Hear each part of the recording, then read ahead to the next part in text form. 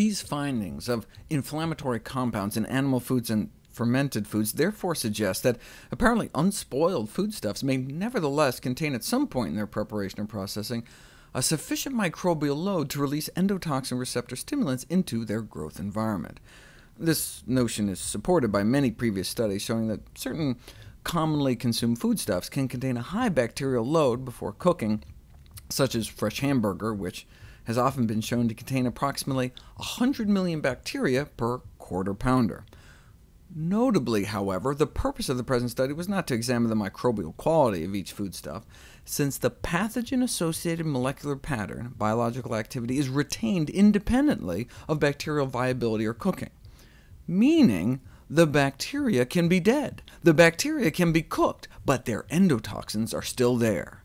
You can boil meat for two hours straight, dip it in an acid bath, like our stomach, and expose it to digestive enzymes. Bacterial endotoxins were found to survive both cooking and our body's best attempts at acid and enzyme digestion. This led them to speculate that the occasional ingestion of meals high in bacterial endotoxins could promote transient mild systemic inflammatory episodes that predispose subjects to the development of atherosclerosis and insulin resistance, uh, which can lead to diabetes. The animal fat may play a profound role in the pathogenesis of this after-meal inflammation by increasing the absorption of the endotoxins. That's where the animal fat comes in, since endotoxin has a strong affinity for the saturated fat transport system through the gut wall and into the bloodstream.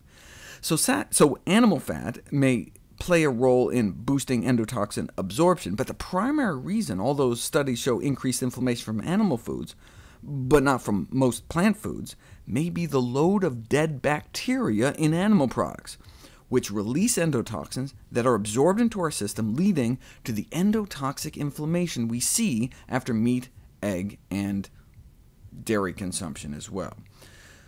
So, now that we know what's going on, what do we do? From a 2012 follow-up? Well, the most obvious solution to this metabolic endotoxemia appears to be to reduce saturated fat intake, which in the U.S. is mostly from cheese and chicken. But the researchers fear the Western diet is not conducive to this mode of action. It's difficult for patients to comply with this request.